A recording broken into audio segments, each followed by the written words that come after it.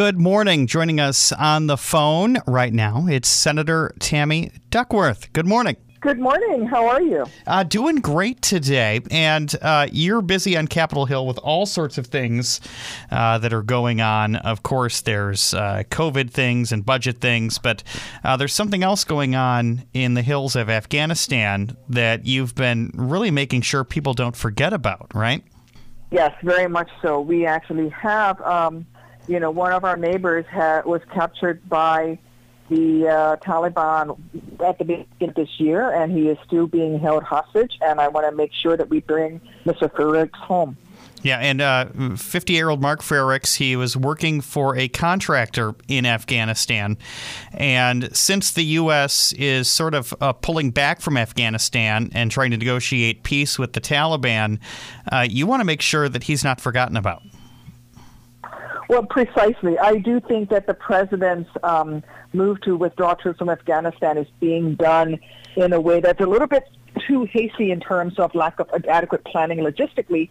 But I also think it is very dangerous for Mr. Frerichs and the other American hostages. There are two of them um, at this point. They were taken at different times. But in, in Mark's case, you know, I'm deeply concerned that he will get left behind and that the Pentagon and the State Department will not be devoting the type of resources that they need to continue to devote to getting him back. And by the way, we've been in negotiations with the Taliban, and part of those negotiations is for return of our hostages and, and to get Mark home to his family.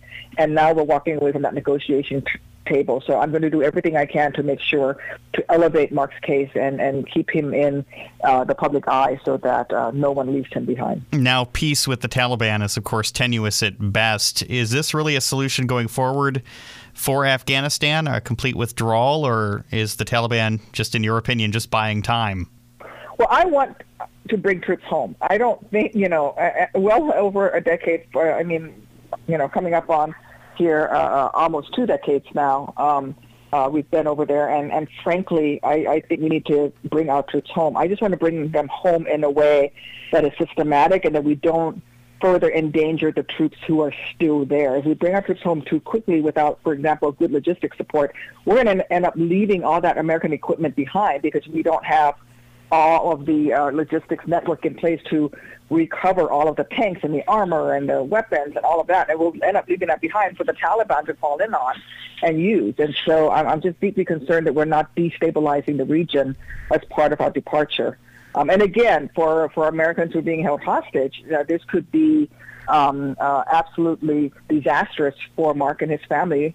And I want to make sure that we bring him home too and he's a Lombard native. He was working over there. Do you know how long he'd been in Afghanistan prior to being taken? Well, he had been in and out because uh, he is also a veteran. Um, I'm not quite sure exactly how long he had been in country this latest time before he was taken, but he certainly was no stranger to the region and had operated over there as part of our military prior. So, um, uh, uh, you know, this is this is something that um, happens a lot where we have a lot of veterans who then turn around and go back and work for contractors, working for our government over there as contractors and um, are continued to be in harm's way, and Americans don't realize that is happening. And would you pressure uh, whomever the Secretary of State is under the Biden administration for his return if that doesn't occur between, well, now and then? Well, very much so, but I also um, have conversations uh, not just with you know the Secretary of State nominee, but also with members of the Biden uh, inner circle, and I am always sure to uh, raise his situation with them as well. And the other American that's over there, Paul Overby, who's been missing since 2014. That was another Illinois native who was taken. Do we have any intelligence? I know you probably can't go into that, obviously, that can actually uh, say that these individuals are even still alive? Um, we have indications from the from the Taliban that they were still alive um, uh, during the nego- the peace negotiations. This had been brought up. Um, I will tell you that I have been asking for the lead negotiator from our State Department to have a conversation with the family members and with myself.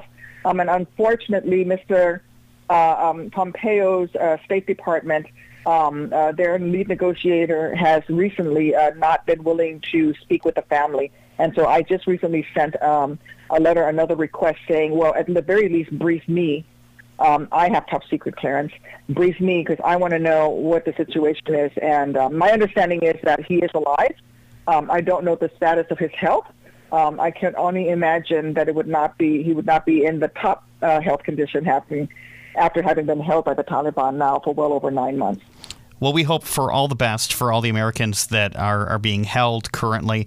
Uh, thank you, Senator Duckworth, for bringing us up to speed on this. If there's any uh, further news on this, or if, you know, by a miracle, uh, Mark comes home, uh, we'd love to speak to you again. Yes, I would be happy to do that. Thank you. Thank you very much, Senator Tammy Duckworth.